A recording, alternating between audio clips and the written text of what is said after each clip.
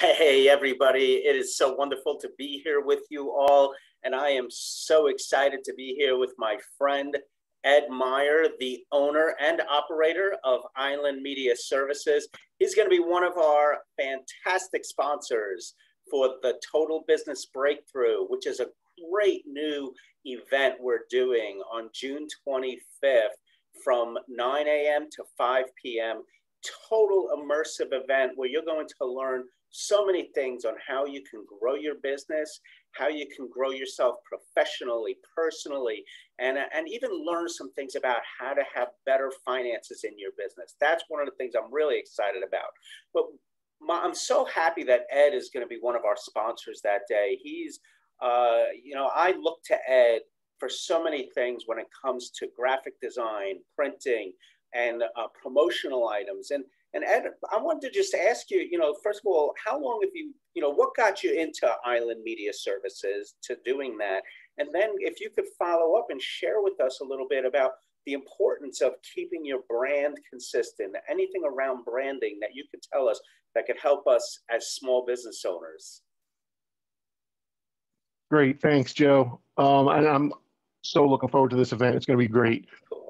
Um, I started in in marketing actually while I was still in college, um, I went to college for radio and television. And between still being in college up until now, I've worked in me- marketing for just about all forms of uh, quote unquote traditional media. So I have worked in marketing for television, for radio, uh, for print. Um, and how Island Media started was um, I moved here from Long Island and I was looking for a job and I hadn't come across a couple of things. And through networking, some of the folks that I had worked with uh, up in New York said, hey, you know, we're working someplace new now and we don't have a marketing guy. Would you be willing to do our marketing for us? So that's how Island Media pretty much came about. Wow. We started our own company basically because a past folks we were working with asked us, uh, asked me, I should say, to uh, to do their marketing. So we came up with Island Media Services. The name comes from the internet radio station I used to work, uh, I used to own which was Island Dreams Radio. Oh, cool. um, so we went with it. Um, yeah, we were with we were Island Dreams Radio. So Island Media Services just came on that. And the other thing I will say is, um, I'm not the owner. I am a owner. I own the business uh, 50-50 with my wife uh, Kate. So ah. we'll see both. You'll see both of us at at, uh, at the event. Wonderful. Uh, as far as branding, He's Joe, one of the things I really try to stress. Yeah, pretty much exactly. um, one of the things I try to stress to people about branding is whether you're at a point in time where you can only do your own branding or where you're at a point in time where you can come to somebody like me who can help design and print uh, brochures, flyers, postcards, door hangers, uh, mailers, and stuff like that for you is consistency in branding. And what I mean by that is um, if you look right here, uh, there, and this isn't easy to do backwards. I see it. You see our little, That's you see awesome. our little palm tree logo, okay? Yeah. Everything that we do to promote ourselves has that logo on it. And so by seeing just that palm tree, you'll start to associate Island Media Services just by seeing that. And, and, and oh, I remember Ed, he had that, he has that logo and he does this and he does that. So just like you, Joe, anytime you see Joe's little uh, uh, JN logo, which was amazing looking, by the way. I don't know who you had do it, but it's great. Um, it, it, makes you stand out. It makes you instantly recognize, oh, that's a Joe Novara thing. Or uh, if you see it somewhere else and you're not necessarily with Joe, it, it, oh, you know Joe, you, you work with Joe, that's great.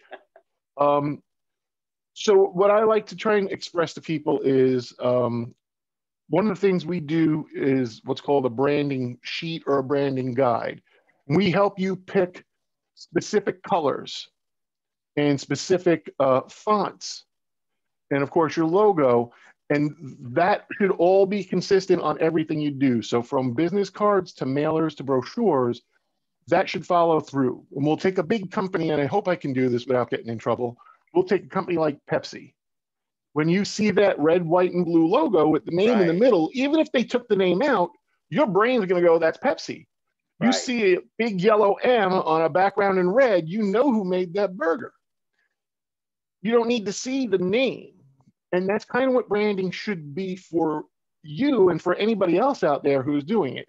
Seeing that specific set of colors and seeing that logo or seeing that particular font set should instantly associate who you are and what you do. And it's one of the things we try to help folks with uh, in their marketing materials. I've had folks come to me with uh, trifold business cards and mailers. And if you just laid them out, looked at them, you would never guess they were all from the same company because Bob designed this one and he really liked that postcard. So that's what they right. used for the postcard. Mary designed this business card, so everybody used Mary's design for the for the business card. They don't look anything alike. They don't relate the companies. You don't connect them. So would and you part say part of your marketing should be a connection? Would you also say that it's important that uh, if you're going to do a brand, uh, do uh, a set of materials, that you have one one person or one organization that's handling it, so that it's all very like, you know, similar in uh, style. Joe, I'll be 100% honest with you. It would be beneficial to me to say yes to that. But just but the truth general. of the matter is, in general, yes. In general, yes, because you're going to develop a relationship with them. They're going to know the look. They're, they're going to know the look that you like. So if we were working on marketing materials together, I would learn how you like things to look. I would learn what colors you like together. So I would be able to work with you more easily and create the marketing material you're looking for. Okay. But if you were to have a branding guide or branding sheet, you could go with somebody else and they would still be able to work with you and follow so your market material looks like everybody else, like the rest of so your So there's our biggest takeaway, and I'm going to close it on that. The biggest takeaway is to have some kind of a sheet or some go-to that we could use that is uh, consistent for our brand, whether it's our colors, our fonts, our uh, the logo, all of that. Make sure you have one, and maybe even the language that you're using, specific go-to phrases. Okay, and uh, so that's the big takeaway is to have something that your designers, if you have 10 different designers, that they can all go to so that it's always keeping it consistent. Well, everybody, I'm so glad that you're that you stayed and listened to us today, and we're really excited to have you be with us on June 25th. Uh, again, I'll put the info in the chat below. It's the totalbusinessbreakthrough.com. Remember, it starts with the, not just total, the totalbusinessbreakthrough.com. But the info will be uh, below so you can go ahead and register. We can't wait to see you there. Ed, I can't wait to see you and your amazing wife, Kate, there on the 25th. Have a wonderful day, everybody, and we, we can't wait to see you there.